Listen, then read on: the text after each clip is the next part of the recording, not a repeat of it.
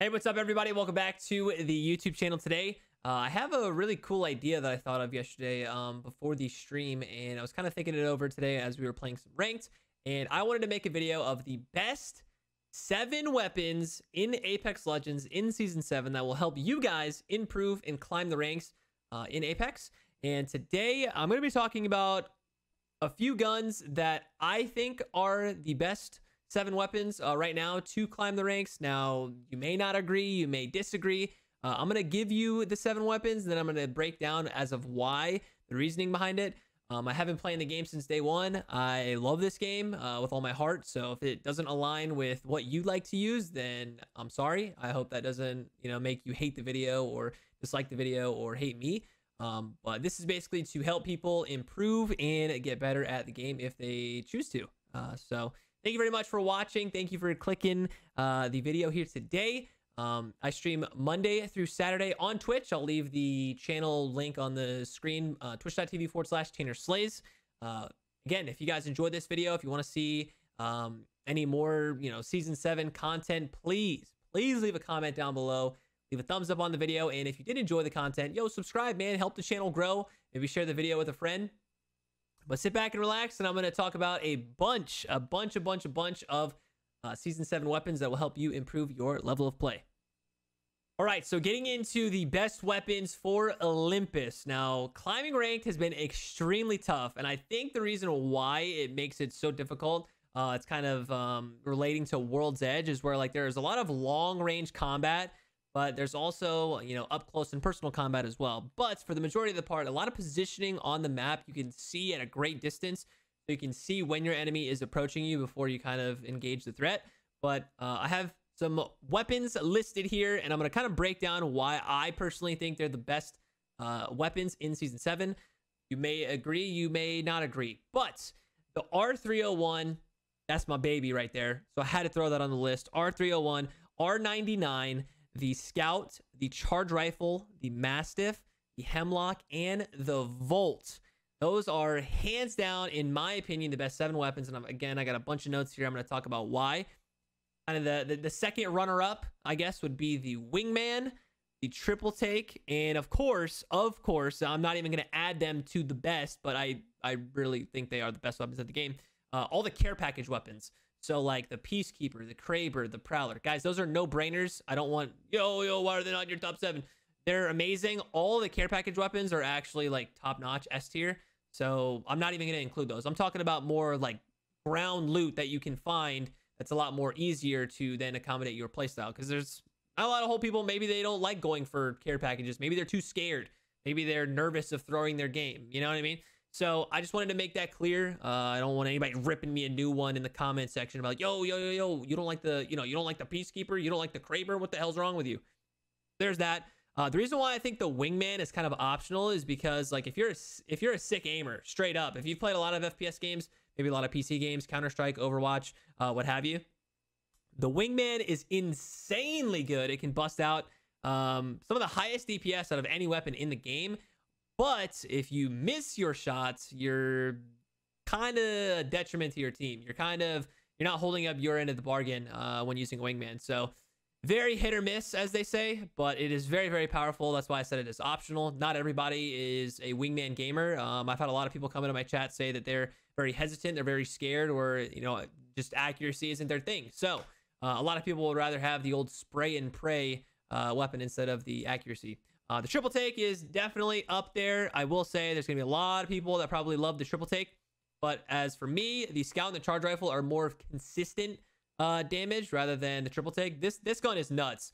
I will say now that you can choke it up, I mean you can do a hundred plus to someone in the head uh, if you have a headshot, especially early game when they don't have a helmet. So the triple take is definitely up there. It's very good. Me personally, on the other hand, I don't use it a whole lot. I think I suck with it, but um, I mean, it shoots three bullets instead of one. So, you know, with the long range combat and you having uh, more damage uh, to deal to a player to level up your armor fully into the red Evo armor, um, it works out as a great poking weapon to do that long range distance. Uh, you know, so a lot. I'm, I might get ripped a new one in, in the comment section there of the triple take. I know you guys love it, but me personally, I suck with it, so I don't tend to use it. But it's obviously a very good weapon. I agree. Um, I think the flatline, the flatline is not on my list, but I love this weapon. The thing is, is I feel like a lot of people are kind of scared to use this weapon. I think they are intimidated by the recoil, um, how it looks, or maybe its rate of fire. But I promise you, as soon as you master the recoil of the weapon, the hip fire is phenomenal. It works out for a perfect up close uh, secondary. Um, some people run it as a primary. Me personally, I run it as a secondary. Uh, I think it's a phenomenal weapon. Again, I think it is one of the most underrated weapons in the game. But again, I'm just leaving it kind of on my list to talk about it with you guys. Also, there is a huge, huge point in uh, the R99. I'm going to leave a side-by-side comparison here, okay, of two different skins in the game when it comes to the R99 that actually change your iron sights. Now, a lot of uh, Apex Predator players have uh, known this for great, you know, for a long time since it came out. Uh, now, I really don't know why games do this, but uh, they have different variants. I think uh, Call of Duty Advanced Warfare might have had something similar when they have these variant weapons. Um, and I am not a fan of it. I don't know why they do it, but uh, you know, there's people out there that are always looking for the slightest advantage. So it is something that I wanted to mention in a video. Maybe you might not know it. Who knows? You're brand new to the game. You don't know this. But there are two skins. I'm going to leave them side by side, and they basically show two different iron sights, but it's the same gun. So you pick, you kind of pick your poison here of, of which uh, is better for you, which you like more. I just, it is something that I wanted to mention. Also, for the wingman, for that wingman, you want to, you know, want to be that uh, sharpshooter from across the map using the high noon. Um, there are two skins as well that basically have the default skin. I'll leave it on the far left side of the screen. And then the Merciless Wing is on the right-hand side. I do believe the R99 skin is called Avalanche, I do believe, where it has the giant tube on the side. You'll know when you see it, trust me. Uh, and then, then the uh, you know factory issue, I'll leave that on the far left-hand side of the screen as well. But I just wanted to bring this up. I don't know if a lot of people, you know, 100% know it all the time, or some people may be curious. They're like, yo, why does this guy like using this skin? It has this giant ass distracting fucking tube on the side. And why? Why does he use this skin? It is ugly. Uh, that's kind of the reason why. So I just wanted to mention that. All right, ladies and gentlemen, the information that you guys are all dying to know and why. Okay, you guys can pick my brain a little bit. Thank you very much for all the positive feedback on the communication, the call out guide as well. I had a ton of people talking about it in the comment section below and in the live stream. Uh, so thank you very much for that. Uh, thank you guys for all the feedback and comments, uh, likes, uh, brand new subscribers. I will do as much content as I possibly can to kind of pick my brain.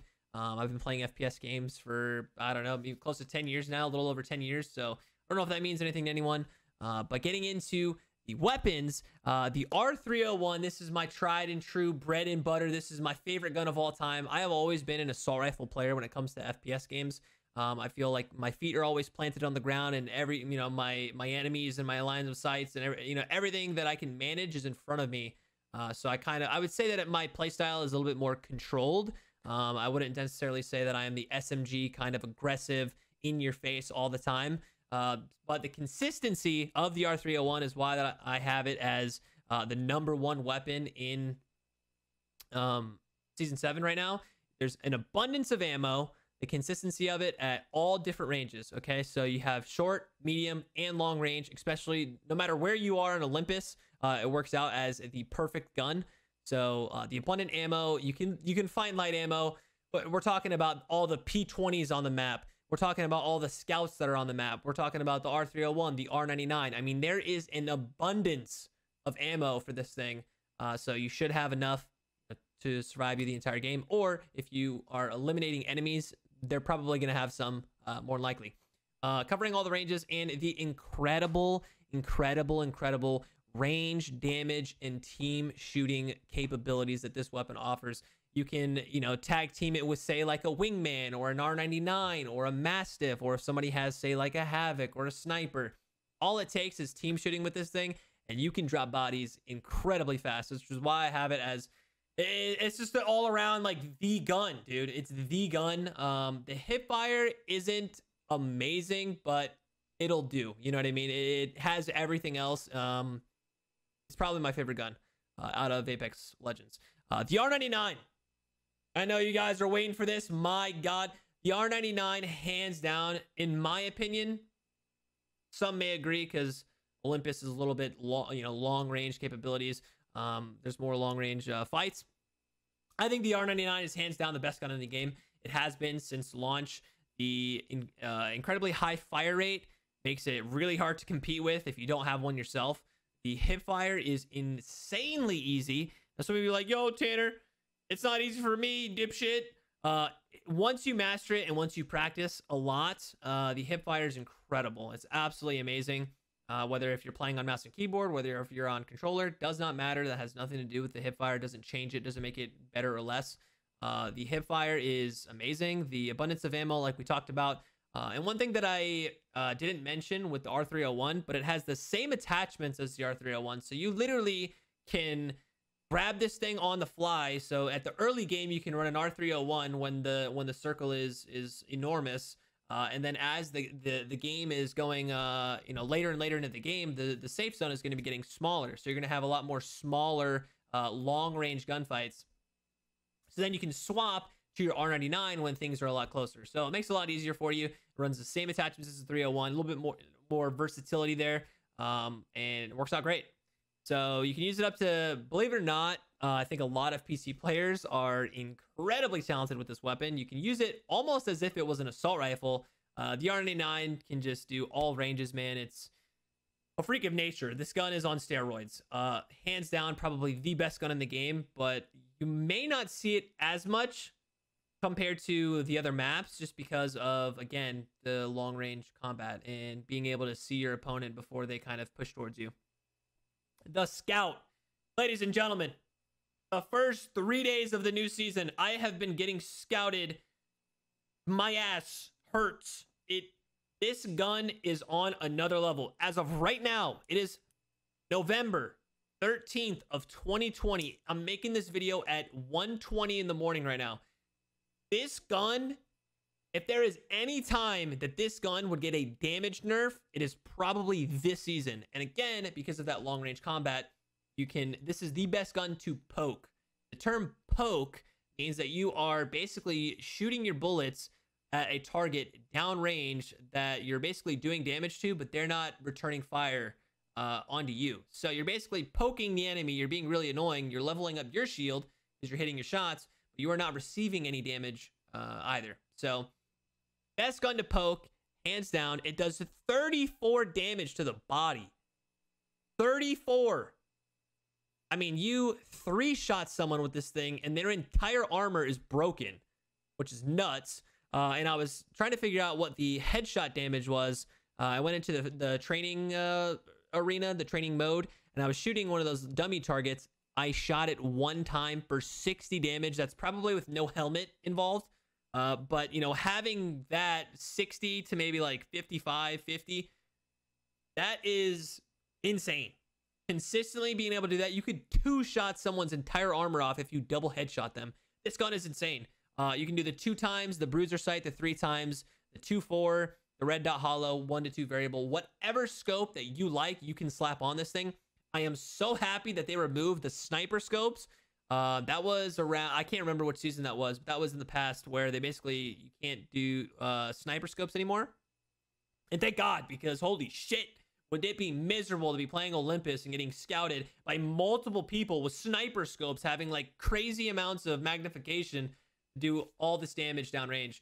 Um, it would be very hard to kind of close that gap and to basically make them, you know, irrelevant because you close the gap in the distance. Uh, but it's not so good with the hip fire, I will say. Me personally, I'm not a fan of the hip fire with the scout. I will always run a secondary that has a way better hip fire, whether if that is a shotgun, flatline. I really don't like running Scout and R99 because you're going to be poking so much. You want to have two different ammo types rather than shooting all of your ammo and then running up into a fight with like two magazines worth for your R99. Does that make sense? So me personally, I don't run two uh, light weapons, you know, at the same time. Some people will say the R400, the R301, and the R99. Um, I personally don't do that unless it's literally one team left and I have 700 light rounds. Uh, so that's just me. But uh, the double tap, I will mention the double tap, okay? This gun is 50 50 for me. I am not the biggest fan of it, but if you do like it and you do get consistent with it, everybody's different, right? Me personally, that's just my personal preference. I don't rock it a whole lot, not even on my Eva uh, shotgun. So the double tap with the scout, if you can master it, I mean, all the, the, the damage numbers that I just spit out, the 34 damage to the body, 60 damage with no helmet, you know, and obviously you accommodate that with a helmet. Uh, but the damage output is just gross. I mean, absolutely gross. You can spot someone, you can ambush someone, catch them off guard, take off their entire shield, and then just push them. Uh, so that is up to you. Um, it is viable. For me, it's 50-50. Usually I don't run it. Uh, the charge rifle, this is hands down the easiest gun in the game. Easiest. And it's incredibly powerful. One, I say it's the easiest gun in the game because it's literally hit scan. You guys don't know what hit scan is, is there's no bullet travel time. There's no I shoot over here and then the bullet travels across the screen and then it hits its target. If I'm literally pointing at this target, imagine just a continuous line. Um, so it's as easy as point and click, uh, point and shoot, which is, you know, at all ranges. That's pretty nuts. So if you practice with this gun consistently, you'll be able to farm up your Evo shields um, a lot faster. They did in increase the cap of getting the red armor to the highest, uh, the highest level. So it's hit scan. It's incredibly powerful. Um, it is hands down the most frustrating gun to get shot by. You will see myself and other Apex Predators and other, you know, pro players constantly complaining about this weapon. It is hands down just the most frustrating. It's like that annoying fly on the wall that keeps buzzing around your computer screen and annoying the shit out of you. And you're trying to swat it away every single time. Uh, and it keeps coming back. So charge rifle, if that is your cup of tea, if you're kind of a sharpshooter and want to level up your, uh, you know, your armor, there you go. Any scope on this gun is viable. Two times, three times, six times, four to eight. You can even do the, the, the 10 times scope, dude, that you can get from the care package. It's filthy. It's gross. Uh, but yeah, it works really good for leveling up your armor as well. I did want to take that mental note. Okay, the shotgun. The Mastiff. This thing is on steroids. I'm talking Pirates of the Caribbean hand cannon. Just, it is hands down the best secondary. Um, I'm going to make another video here talking about the best composition that I have seen in season seven. A lot of people have been asking me. Season seven's only been out for a week, uh, so there's a lot more of experimenting and things uh, that we can come up with uh, for video ideas. But I'm gonna get to that in a later video. Um, the aggressive players that run this shotgun, they will shoot the soul out of your corpse. I'm talking. I don't know how they'll always one pump you for like a hundred and you know 50 damage or 140 damage. Uh, it is hands down a hand cannon uh, when it comes to watching these top uh, pro players and Apex Predators. Some people are insane with it. I would say that I'm okay, uh, but uh, again, I'm not really your kind of run up into your face and you know shotgun you for a million damage. Uh, the shouldering, basically, when you are turning a corner and you are peeking with just your shoulder, so you you're not full on exposing your entire body. Does that make sense? as you're peeking the corner, if you're only exposing your shoulder, so you're just kind of sidestepping a corner, and if you're shotgun it, you're shooting and then dip behind cover and then shoot, dip behind cover, shoot, dip behind cover. You kind of do this little like shuffle dance, uh, and it is so incredibly hard to fight someone who is so good at doing that when you don't have a shotgun yourself. So that is why I would recommend running this if you are really that up close and personal uh, kind of player. I think the Mastiff is going to be your cup of tea. You can max out the efficiency with this weapon if you have a shotgun bolt. Me personally, I think uh, blue shotgun bolt and above makes this gun insane. Uh, with no bolt, it's a struggle because you can't shoot as fast and your timing might be off when you're trying to shoulder a wall. Um, so I highly recommend having a shotgun bolt for the max out uh, efficiency for it. Um, best gun to run with Gibraltar. If your team does have a Gibraltar and your team throws the uh, Gibraltar Dome, his ability. Uh, if you guys are sitting inside, you know that team has to penetrate your your bubble, uh, and when they do, it's all close quarters. And I mean, you just get shotgun for a hundred plus every time. There's no point in bringing a spray and pray gun. Uh, so you'll see a lot of these professional teams. If any of you guys watch competitive or the higher ranks, uh, this is something that they do. I don't know if a whole lot of people talk about, but running a shotgun on Gibraltar, especially with his arm shield too. So you have a shotgun that can do 120 damage in one pump, Plus, he has a 50 damage arm shield protection, like blocking, uh, and he has his his bubble. So, and there's multiple shotguns probably shooting. So you can see why it's very like intricate, very tactical, very critical um, kind of way of fighting. Uh, but it makes it incredibly hard. So if you like playing Gibraltar, I recommend getting good with the Mastiff. Final gun. And it has been a long video. Thank you guys so much for watching this video. If you did enjoy, man, leave a thumbs up. Again, leave, leave me some comments down below. I'd love to talk to you guys about uh, if you agree or disagree with some of these choices. Hopefully, uh, I don't sound like too much of an idiot. But uh, the Hemlock, dude, the Hemlock. Hemlock is the final weapon here that I think is hands down one of the best guns uh, in Season 7. Now, they did make some changes to it before um, this whole season came out. I believe they reduced the damage and maybe slowed down the fire rate. I could be wrong on that. Um, I haven't read the the, the patch notes. Uh, that's just like what I heard. Um, but the gun is great at all ranges, short, medium, and long range. Phenomenal weapon. Uh, hitting your shots in burst mode or going on single fire and being that annoying ass fly on the room um, is pretty viable. You can use it uh, different sights to maximize the range. The bruiser, the three times. The barrel stabilizer is crucial for this thing. So those are some things that you should look out for uh, when trying to max out your efficient efficiency. Uh, the hip fire is okay. There's kind of a little trick where if you go into the firing range in your, uh, whether if you're on a controller or a mouse, doesn't matter. If you basically tap your aiming button, hopefully you guys don't play on toggle, by the way, toggle's terrible uh, tap your aiming, and it basically kind of smushes your sight down as if you're aiming, but uh, you know, don't hold it down. Just tap your aiming, and it basically tightens the hip fire spread. You'll notice a lot of players that do this uh, to again to hit as many bullets as possible. And hip fire is okay, but if you know that trick, it makes it even better. I did mention that, and so good. This weapon is so good for team shotting. Uh, if you have, say, like an R99 or say like a Scout or an R301 on your team and you're running this, if you guys are team shotting, you will drop bodies quick. And last but not least, the Volt, the newer energy SMG that just recently came into the game, I believe last season. Dude, this gun is phenomenal at all ranges. The hip fire is great It doesn't have an insane fire rate. It does have a consistent fire rate, I'd say. Energy ammo is decent to find. You know, you have the Devotion uh, as well, the L-STARs that spawn, the Havocs. Uh, perfect weapon. If you can get all the attachments on it, the barrel stabilizer, the energy mag, any kind of optic that you like, I think this thing is a beast. Uh, it just screams consistency for me. So again, it is one of my uh, top seven best weapons in the game right now. Overall, it's a solid choice. So if you find it, if you got all the attachments, I would highly recommend.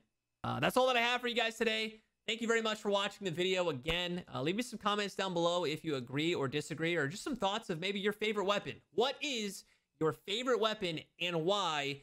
And leave a comment down below. Yo, share the video with some friends, man. You got you got that guy that's always yelling in the microphone or spam pinging you in, in, in the lobby every single time you're solo queuing. go share this video to them help them improve. I hope this helps you guys climb the ranks and get Apex Predator in no time. Thank you very much for tuning in, and I will see you guys in the live stream or the next video. So, hey, take care, take care of each other, and I'll see you next time. Yo, peace.